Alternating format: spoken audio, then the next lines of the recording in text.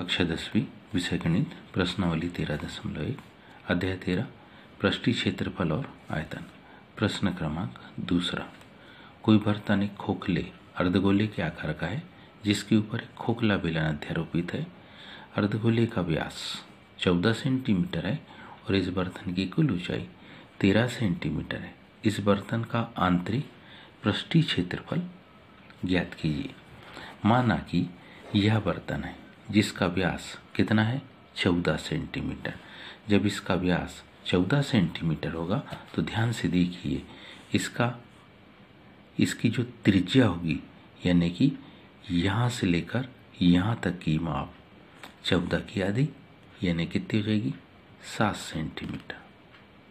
जब यहाँ से यह ऊंचाई सात होगी तो ये जो बची वाली माप है, यानी कि ये वाली माप ये कितनी बचेगी? ये बचेगी छः सेंटीमीटर, क्योंकि कंप्लीट हाइट कितनी है? तेरह सेंटीमीटर। इसी को कुछ इस प्रकार से स्टेप में हम लिखेंगे। ध्यान दीजिए। सबसे पहले, क्योंकि क्या दिया है? अर्धगोले का व्यास। क्योंकि हमारे पास दिया है अर्ध गोले का व्यास ये है चौदह सेंटीमीटर। ये चौदह सेंटीमीटर है, इसलिए इसको अर्धगोला कहे या बेलन कहे इसलिए बेलन की त्रिज्या अर्धगोले पर ही बनाई, वो होगी बराबरी से कितनी? सात सेंटीमीटर। क्योंकि काहे की बेलन की ऊंचाई। बेलन की क्या निकाल रहे हैं हम? ऊंचाई क्योंकि कंप्लीट बर्तन की जो ऊंचाई थी, वो हमारे पास थी तेरह सेंटीमीटर और इस बेलन की त्रिज्या आ गई सात सेंटीमीटर तो बची कितनी? छः सेंटीमीटर। अब बेलन का आंतरिक प्रश्न निकालना है। बेलन का आंतरिक प्रश्न निकालना है, यानी दो प्रकार के प्रश्न है। बेलन का।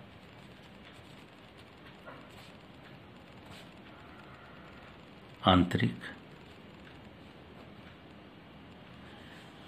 पृष्ठीय क्षेत्रफल।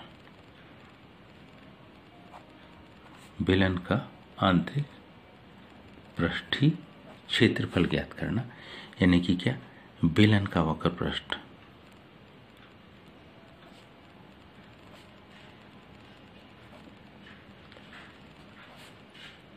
धन अर्धगोले का वक्र पृष्ठ।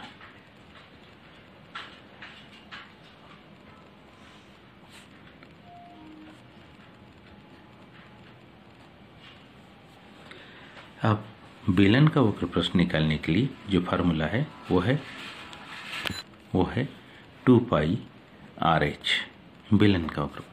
अर्धगोले का वक्र प्रश्न निकालने का टू पाई आर स्क्वेयर। पाए बाईस बटे सात। आर सात। एच ऊंचाई छः सेंटीमीटर। इन्हीं मापों को हम रखेंगे। इन मापों को जैसे रखेंगे हम। टू, पाई मीन्स बाईस बटे सात। आर त्रिज्या सात है। त्रिज्या कितनी है? सात गुणित ऊंचाई छ धन two twenty two by seven seven square अब ध्यान से देखिए तो हमारे पास ये सात से ये सात कट गया यहाँ भी एक सात से एक सात कट जाएगा तो बाईस दूनी चौवालीस। दोनों के दोनों पदों में क्या काम आना जाएगा? चौवालीस। पहले में बचा छ एक सात तो कट गया, दूसरे में बचा सात। छ और सात दोनों को जोड़ देंगे। तो यह आ गया तेरह। चौवालीस गुणित कितना? तेरह। चौवालीस और तेरह का गुणा।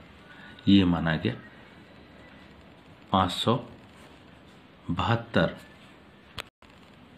सेंटीमीटर की घात दो। तो हम लिख सकते हैं अतः बेलन का।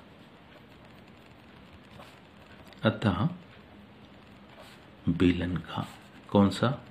आंतरिक।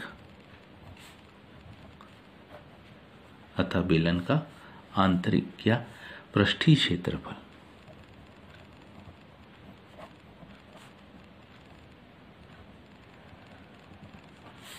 कितना जाएगा? पाँच सौ बहत्तर वर्ग सेंटीमीटर। उम्मीद है आप सबको ये समझ में आया होगा। आज के लिए इतना ही। शेष कल, धन्यवाद।